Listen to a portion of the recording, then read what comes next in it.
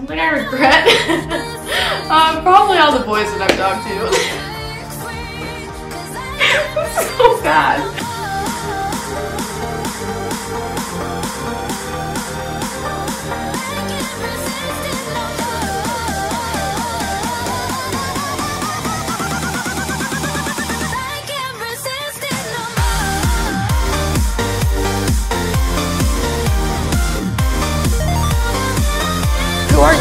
Without being Maddie's little sister, without being Mack Z, you're not saying who are you?